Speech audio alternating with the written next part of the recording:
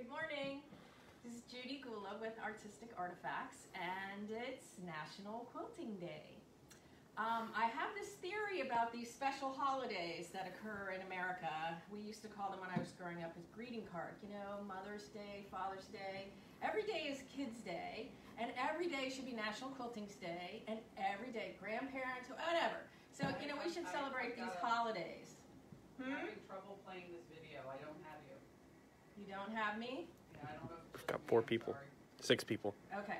Sorry, we just had a, a, a tech check, which you know, I'm technically challenged, so we, you know, I kind of, I have this uh, aura that uh, take those two electronics and goes, but anyway, so some days it works.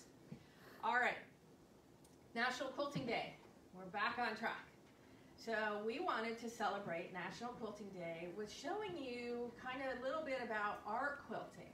So art quilting is a, an area that I think has come to life. And when I traveled, I had art quilts in our booth, and it, it always was a question: is how do I get there? What is it? Why do you call it an art quilt? What, what do I? Where do you get your inspiration? So what we thought we would do today is that we have Kathy Edwards, a, a recent member to our team here at Artistic Artifacts, and she is an art quilter among we you know we just don't limit ourselves to art quilting among other things.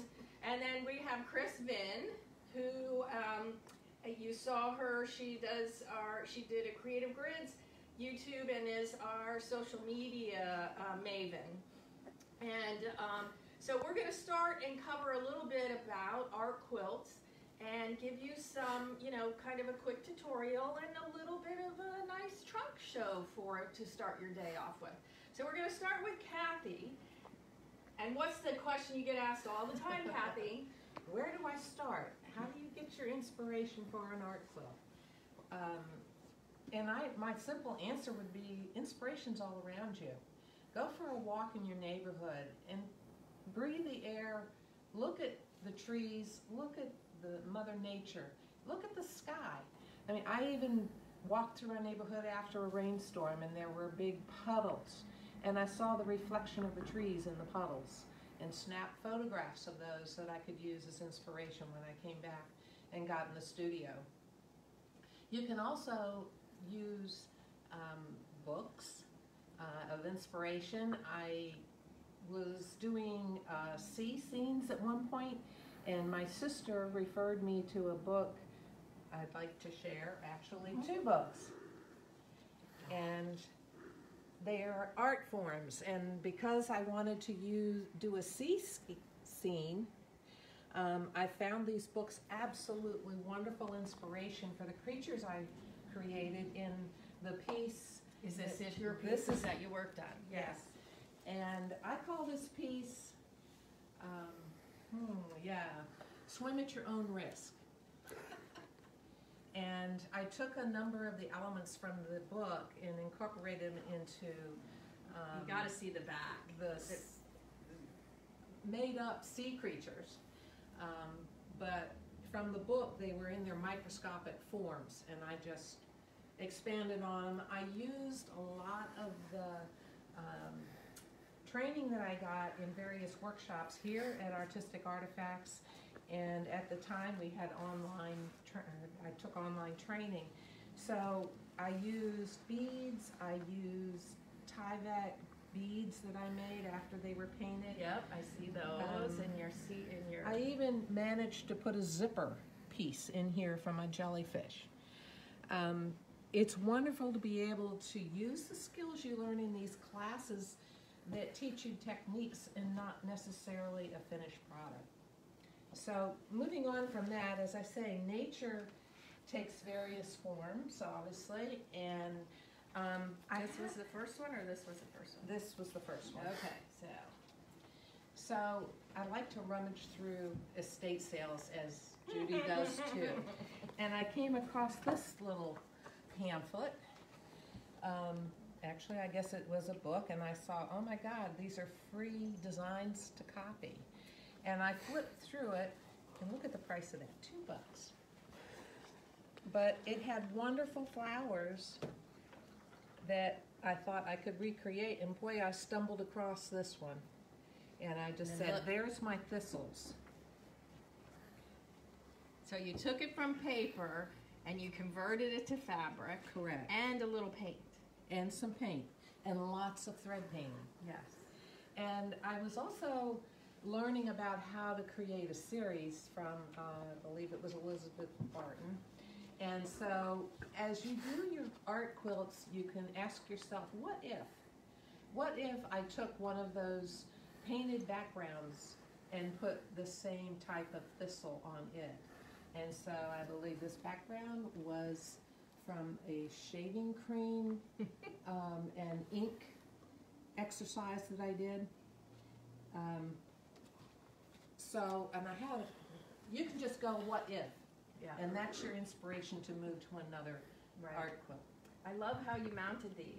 That's, Let's, let's yeah. You, you, Go ahead. You have the frames, so they've become kind of like fine art. So you have your quilt, which is your three layers, and then you have your frame.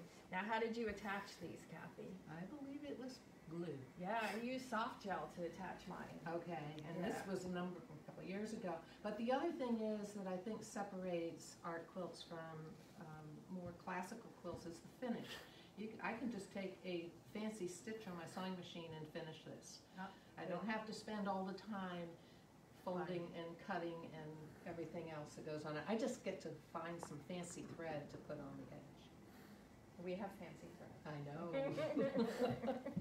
um, one other area that would provided me with some inspiration. I belong to Fairfax um, Quilters Unlimited, and we had a challenge where we ripped a piece of paper out of the fall issue of was it maybe Glamour magazine, but one of those big fall fashion magazines.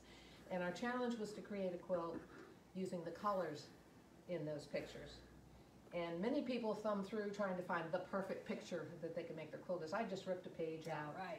and um, it happened to be an ad for lipstick.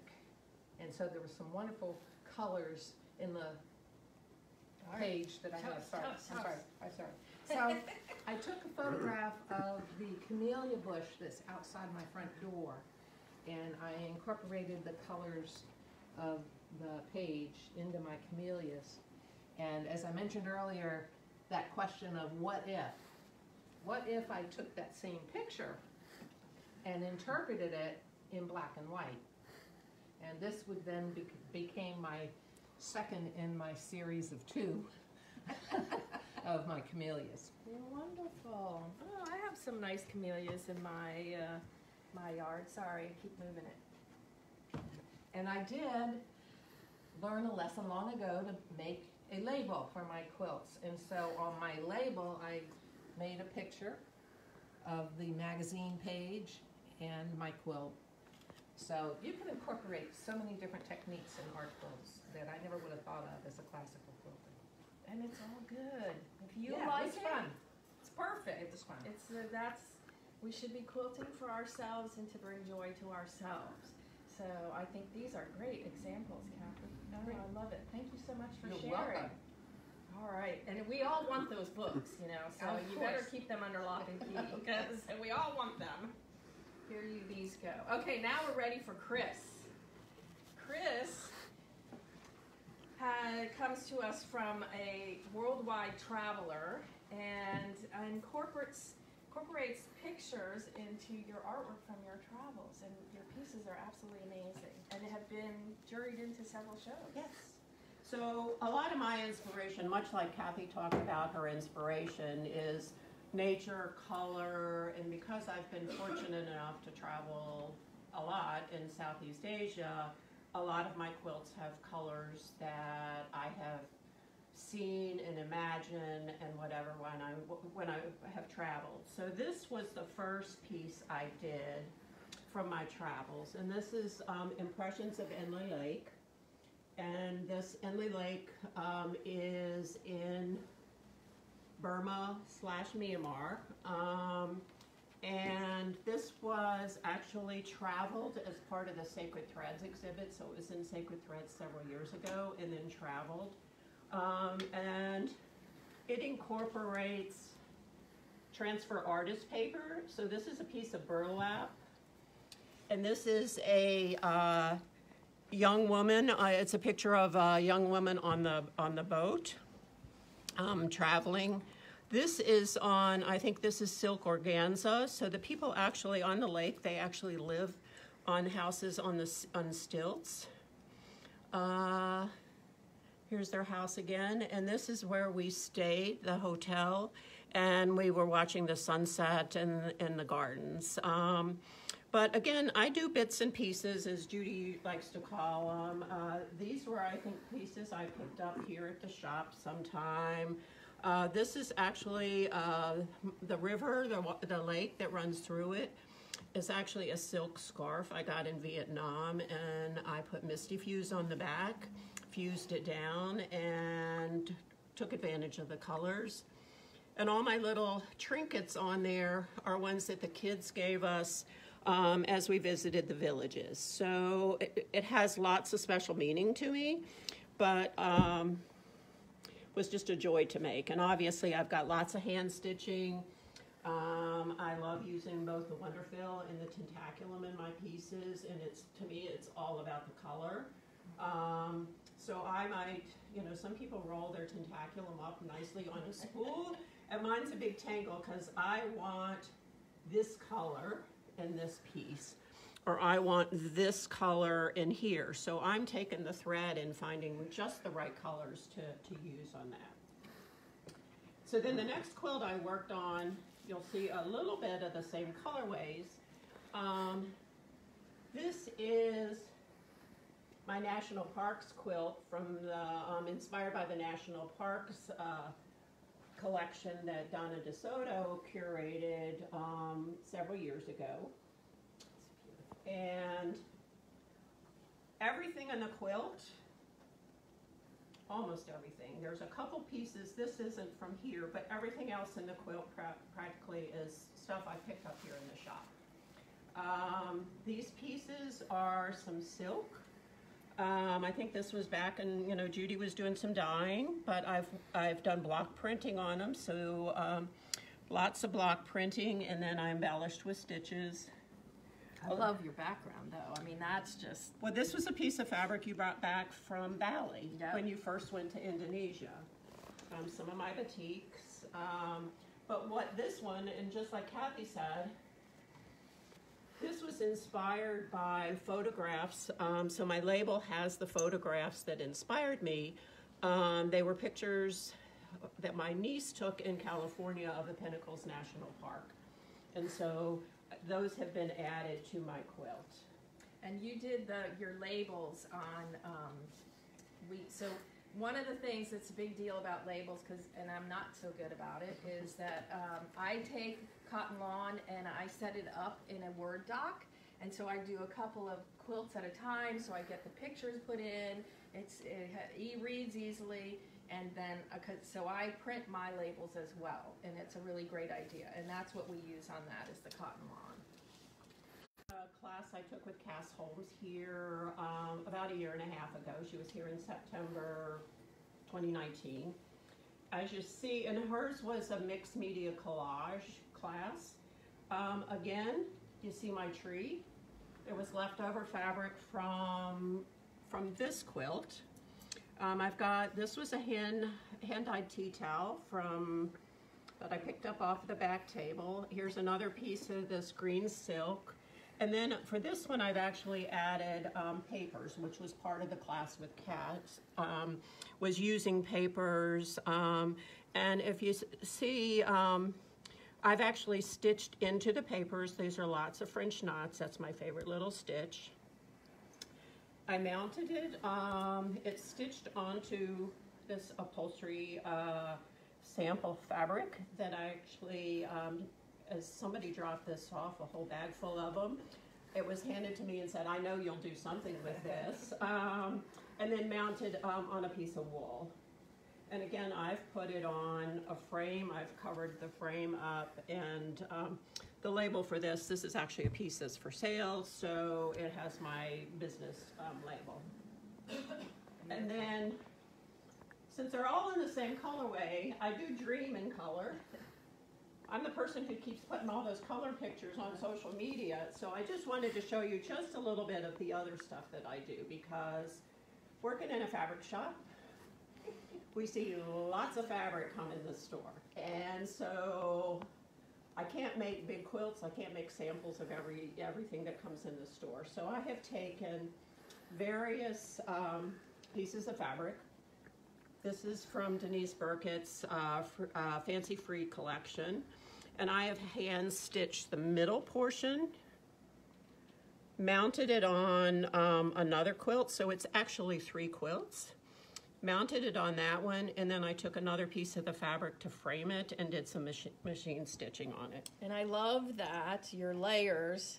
I see. I, I don't know that I would have thought about matching the matching it up. So you've continued the fabric pattern on the back layer uh, to work with the front layer. I, I don't know if I'd been Well, that organized. What I realized when I was trying to figure out where to place this is that this got lost if you had it in a larger piece of fabric Okay. with all that goes on on that. I mean, this is just an exquisite piece of fabric. It is. Um, and I have more of it, and I'll, I'll probably stitch some more. Another color inspiration. This one was actually a friend, Suzanne Langsdorf, made a tunic for me, a schoolhouse tunic with fabric from the shop. This is a leftover remnant, and this is a Kamanasi. It's a, a woven batik that we, we have in the shop. This was a napkin from a social enterprise in Africa, and this was a piece of um, Ice Dyed by Holly um, Cole, and we're quilters. We like to cut fabric up and sew it back together. So rather than putting her a whole piece there, I've pieced it back together, and it's all stitched with Tentakulum to show off the colors. And my last one is, this is another piece of, um, I think this was Denise Burkett's first, First one. Um, this is a hand dyed wool that, again, I cut up. I wove it um, to show off the colors. It's sti- stitched with tentaculum. This piece is, uh, I think, palette with um, wonderful uh, spaghetti um, stitching. Yeah, the size 12. And then I used a piece of the fabric, but it was the fabric that inspired the inside color. So all of mine are the colors and textures, um, and you know how I use the products in the store. Now, Kathy and Chris, would you say that you came to quilting more as piecers and large, creating large quilts that maybe were more on the bed, or did you come directly into art quilting? Well, I came from piecing and found that my piecing wasn't so great and found art quilting more forgiving. So I would spend a lot of time on a larger quilt and trying to smush it under my machine, trying to quilt it when I was done. So yeah, I came from more of the traditional piecing and found this shop and phew, changed my life. Chris? And a- actually, I started with hand piecing and hand quilting, and then I went to machine piecing and quilting, made quilts. Um, but most of mine, I mean, I've done a, a few wall. I mean, I've done a few bed quilts, but most of mine have been wall hanging size. Again, manageable. Um, but the reason I stopped hand quilting back in, I think I found the thing that was 1987, was my stitches. I didn't think my stitches were perfect. And now I don't care. it's all about the color. So it really has, you know, I have gone um, to realize that art quilt frees that up. You know, and while I love making a shop sample and it's all about using a ruler and a pattern, this is what gives me the most joy, Joy. is the textures and the colors and, and the memories that go with the piece. Okay, now it's your Okay, turn. now it's my turn. Um, okay. I, I asked that question again because we did travel um, and do shows and meet people when we started the business. So what did we just when we were waiting to go live, we were talking about time periods and, and kind of moments when um, you know that moved our lives into a different direction. So I um, have always been involved in vintage textiles and collecting them, not you know, and working with them. And I was always a dyer and a spinner and a weaver in my first life. So I also was part of the um, Torpedo Factory, which is an art center here in Old Town Alexandria. So I was always trying to find something that was fiber related but saleable. And I guess the last thing before I went to quilt-like pieces was I, had a whole line of fiber jewelry that I created. And I would paint it and I would start with white muslin and all that other stuff. And my friend said to me, she goes, you know, there's fabric that's already painted out there. And I'm like, really? Oh, I don't know anything about that. So she took me to a local quilt store and I bought some batiks and some printed fabrics and I promptly took them home and painted them again. She's like, what are you doing? I said, well, I don't know, it needed more pattern. And so I make these little beads with fabric that was always painted and I, I said necklaces, bracelets, earrings, the whole, I had a whole line. Um, and so I was like, okay, well now I know about quilt stores, and and this was pre 2005. So 2005, I took a class with a mixed media artist named Laura Cater Woods, and that was really what shifted me to the quilting area. So in her class, I created this quilt. So quilting is that it has three layers, but I have paper, I have beads. You can see I have a very non-traditional um, hanging piece and it's maps and it's a tree. And so this is where I entered quilting. No, no straight lines, no rules, no rulers. I don't even know if I had a rotary cutter at that point in time. So I, this is where I started. So I came to this in this quilting from kind of more a creative area of working with textiles in different ways. So another piece, and I did say I liked vintage, right? You know that. So um, this piece was done based on these old overall buttons and a vintage piece. I just thought it was kind of cool that it had circles, and oh, I found fabric that had circles, and so um, I did this piece. Now, as you can see, I have pieces sticking out here, so it's kind of hard to bind that. And I didn't know what the right way or accepted way to do it was. So I went to a friend and I said, what do I do? She says, oh, fuse them. I'm like, oh, okay. So I did. I fused it and I kept, so I have a lot of raw edges. I'm just trying to pull a string and that's not a good idea when you have buttons and I um, just made it three-dimensional. So this was is you can see this piece if I stop moving it is a header in our on our website, and so this has always been red is is quite significant in our family for a lot of different reasons, and this is what this piece became was our logo. So those are two very very early pieces. Then I not sure when I did this, but I collect orphan photos. So this is an orphan photo. I think that it's probably at the beach when they were doing portraitures and things. And I just, I printed it on cotton lawn directly. And it's got pieces of hand-dyed vintage trims and, and millinery. I love millinery. Uh, leaves and flowers and things and try to put it in a lot of pieces that I have. And then I was like, okay, well, you know, I need something more. And there was this old ratty suitcase that I probably had picked up off the side of the road, and I cut this off of it. And look at what it gave me. It gave me a wire to, to tie, you know, a spectacle, keys, dominoes onto it, and I think I sewed this quilt piece onto this piece. So you can see it's stiff, and it, it's, um, here's my label that I do. I print those out. I have a standard one that I do. And so this is my, one of my mixed media pieces. And so far, I, I do sew my buttons on. I don't glue them. I will sew whatever I have down, like these are all sewn down as well. So um, that piece was done. Then, when we had our store, um, Cindy Souter and I, I was traveling and doing shows all across the country, and Cindy got was, received access to a couple of one was suiting, so we did a suit power suits challenge. This one was lace, and we did a linen and lace challenge. So we um, had a lot of fun with those. Lots of participation across the country, and this piece was mine that I did. So it's got a full corset.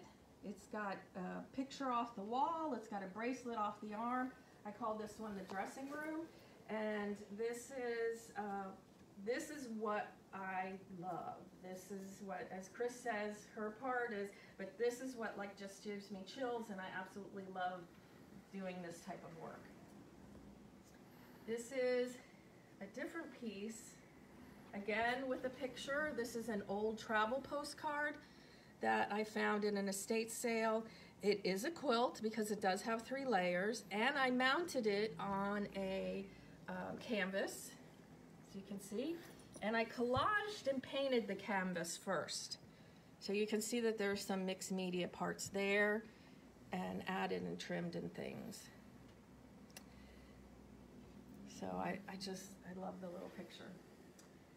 In 2012, um, my husband and I purchased Batik Tambal from a lovely couple that lived in Connecticut and had traveled the circuit. I say the show circuit because y'all become, you know everybody, your friends. It's, um, and she had these fabulous hand-drawn batik panels. So she would travel with us for like a year afterwards, and she's like, "Well, you know, you're still using my samples. I want to see what you're gonna do. Where's your personality in this business?" And she took this panel and she handed it to me, and she says, "I want you to do a piece that's really you." I was like, "Okay, I can do that." So as you can see, I have hand-dyed piece. I have my my um, pillowcase on the back, hand-dyed piece which I hand stitched. Another flange here, but then there now we have beads and trinkets. So you can see these here. And I have drawers and drawers of this stuff. So you do have to collect it because I, I don't know I don't know how to work on a per project basis.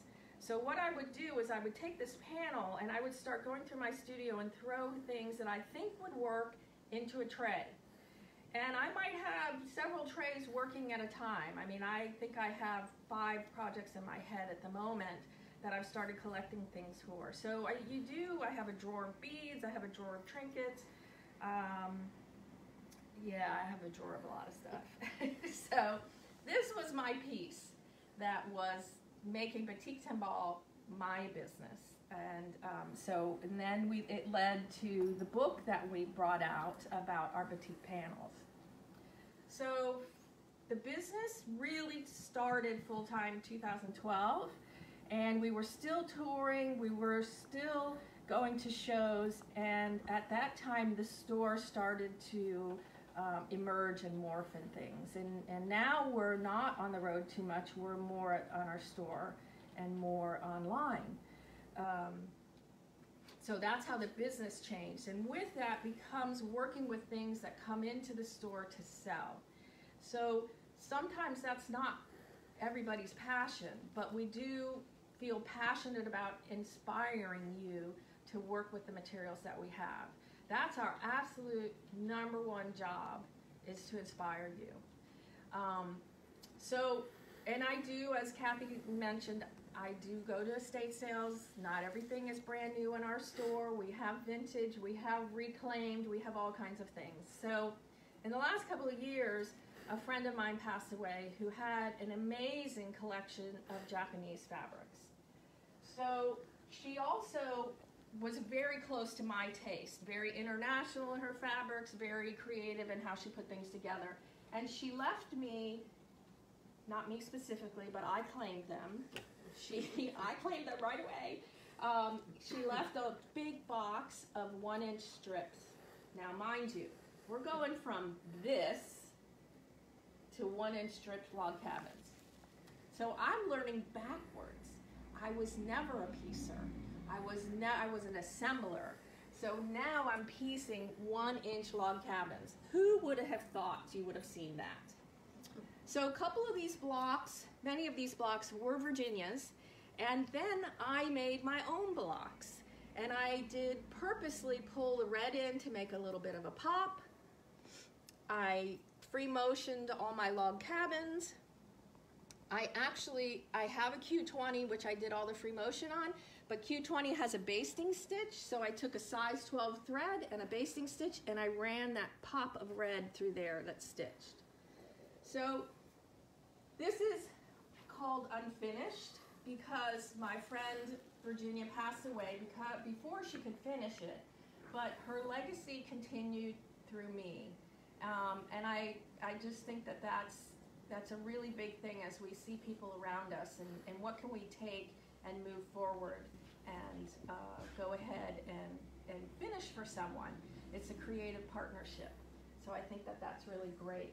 Another piece that's called unfinished, let me pull that out. I seem to be working in a lot of blues right now. Um, this is a piece that is here, and this is unfinished also.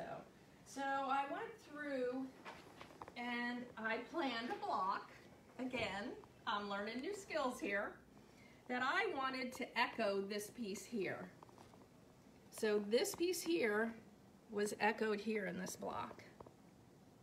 And of course I have to have a pop, I have to have red, and so this piece is, is not finished yet. I'm not quite sure where it's going, but it is there. And this piece, I, I, what, do I fold it? Do I cut it? Do I whatever? And I said, no, it's unfinished. I need to leave that as part of the piece. So I'm gonna just sew it across the top once I get my layers done. And so that piece will hang free. And this is with South African shwe shwe fabric. So I'm, I'm very much cultural fabrics are very um, interesting to me now. Um, all right. So ever being the salesperson that I am, there's a couple of things that we have if you're interested in these um, types of, we have ikat woven Japanese, we have printed Japanese that are in packs. We have woven, a pack of just a general woven pack that is there. And this one will be up on the website soon, which leads me to the next one. So we have five by five squares up and we have 10 by 10 squares. So with this one pack of five by five squares, I have worked on multiple quilts. The first one I worked with is here. So it, this is a piece of cyanotype, is I'm saying that right? Okay, that I purchased from Susan Gantz. And um, I did some hand stitching in here. And then I also took these Indian fabrics and accented them. I just thought the theme and the feel and the color would be perfect with it. There's also more cyanotype that I got from Suzanne that I tried to echo with hand stitching. And again, I was making blocks up and sewing pieces and cutting that fabric apart and sewing it back together. uh, so that was one of the first pieces that I worked with on these Indian scraps. The Indian fabric is lighter weight than what we would consider quilting fabrics in the U.S., but worked fine, no problem. Then this piece really is about my trip to India. Um, I actually was very lucky. I had this piece from before. It's mirrored in pieces, so it came. I have a little bit of a real paisley scarf and a trim, and I wanted to figure out how to focus on those pieces. And so I, I do have these blocks that are similar to the other one, but the other thing about how I do my blocks is if I can't get it to fit, I just add more fabric. So like if I needed this to be this way, to be, you know, get into these squares. So, okay, here's a perfect example. So here's a square, maybe, but it, I wasn't lined up right. Well, okay, I just added a piece of fabric. So that's where that art quilting free form comes into, but, but I am kind of trying to make things be a little square.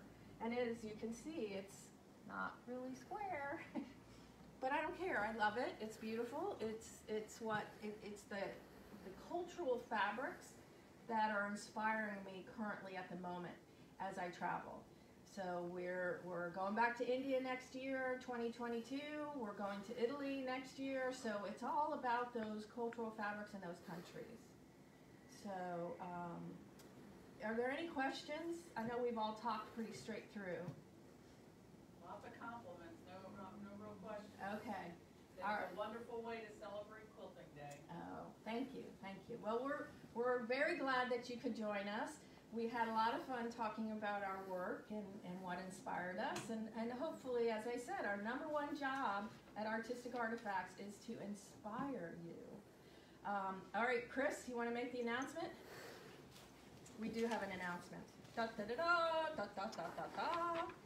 I don't do that very well. So we actually have had a giveaway and we don't have the packs right with us.